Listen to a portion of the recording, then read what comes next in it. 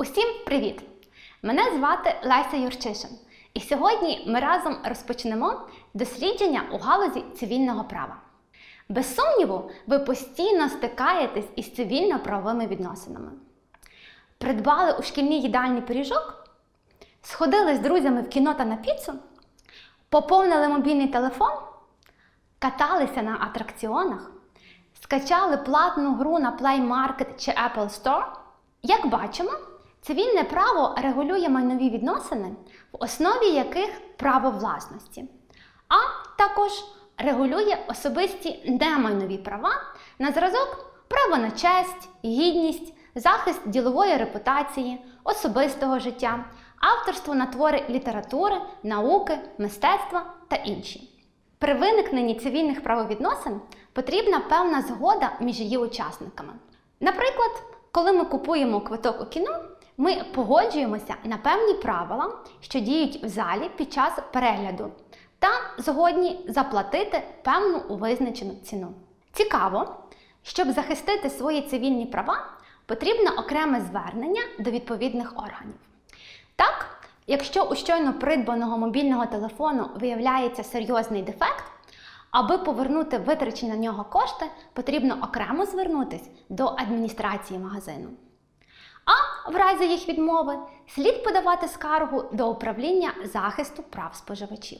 Закон виокремлює поняття цивільної правоздатності. Це здатність мати цивільні права й обов'язки, що виникає в момент народження фізичної особи.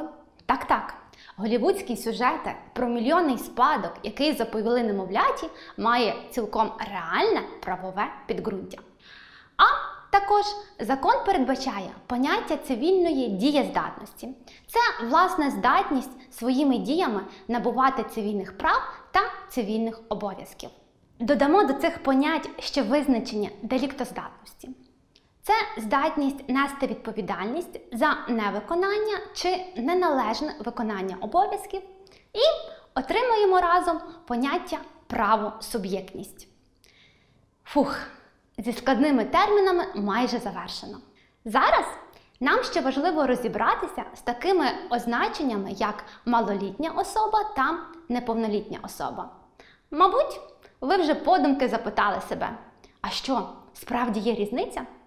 Так, вона є. Але все досить просто. Якщо зараз вам менше, ніж 14 років, то за законом ви малолітня особа. Якщо ж більше за 14, але ще немає 18, то ви неповнолітній. У будь-якому випадку ви вже маєте право вчиняти так звані дрібні побутові правочини. Купівля пиріжка, похід на піцу усе, що допомагає вам задовольнити прості побутові потреби і має невелику вартість. Цивільний кодекс України розрізняє ще й різні види цивільної дієздатності. Гляньмо уважніше на схемку. Буває часткова, неповна, повна і обмежена дієздатність. А також у цій схемі окремо ще прописано поняття недієздатності. Зауважу тільки, що будь-яке обмеження цивільної дієздатності може здійснювати лише суд на підставі відповідних звернень та лікарських заключень. Перш ніж глянути на ще одну схему, пригадайте, чи часто вам доводилося щось розбивати чи ненароком псувати чуже майно.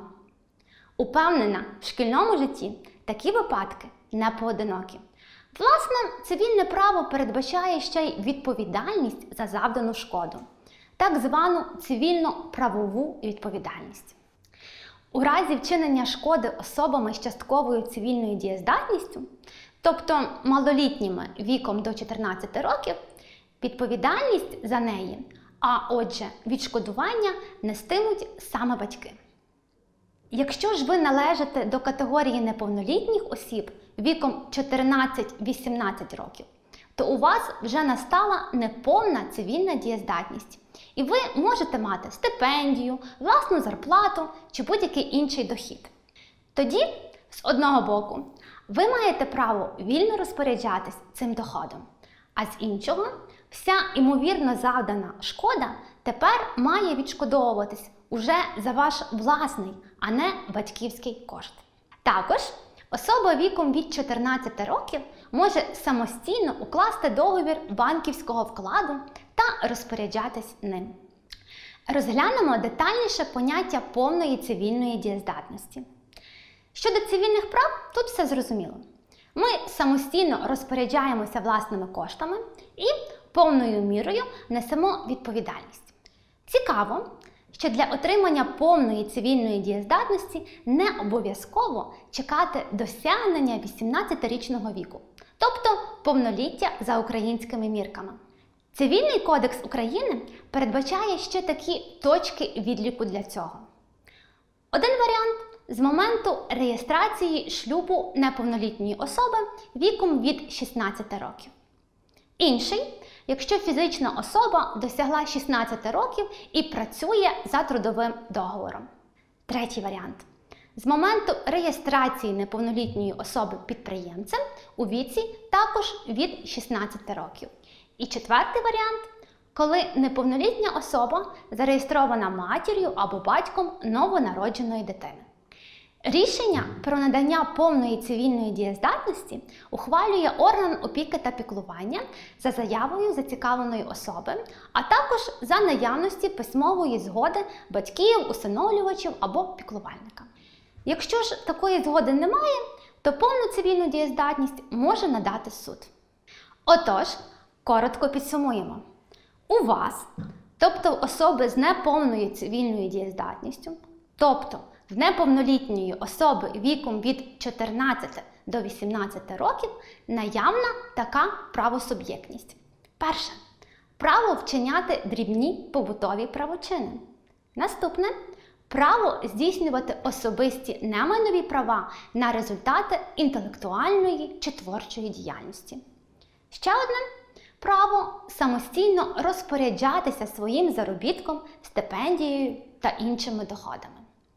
Наступне право самостійно укладати договір банківського вкладу та розпоряджатися вкладом, внесеним вами на своє ім'я. І ще один дуже важливий обов'язок самостійно відшкодовувати завдану шкоду за умови наявності власного доходу.